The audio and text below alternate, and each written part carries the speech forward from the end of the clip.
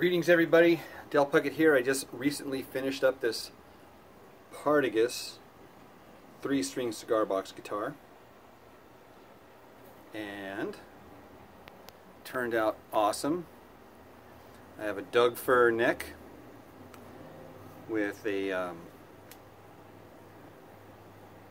yardstick from the Home Depot for the um, fretboard.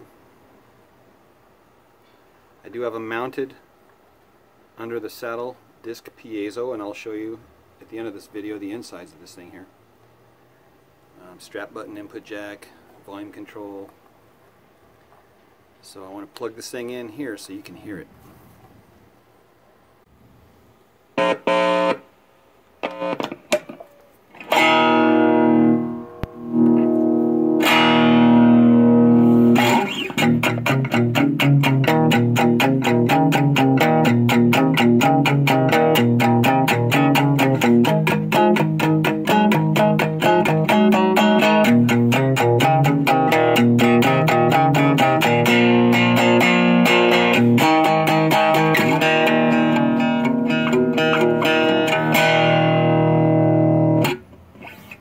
Thing sounds amazing.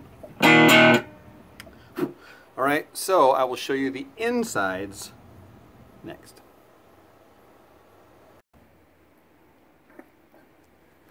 The neck is Doug fir and the fretboard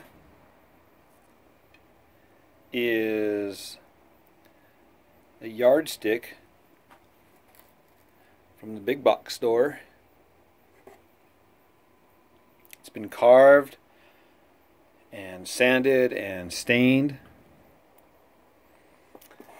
The um, the box itself has been reinforced with reuse wood and trim and I dark stained on the inside so that when you're looking in there it's nice and dark.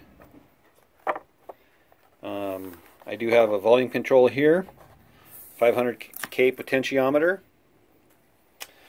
The um, pickup here, I, of course I drilled it out with a Forstner bit and then filled it in with hot glue.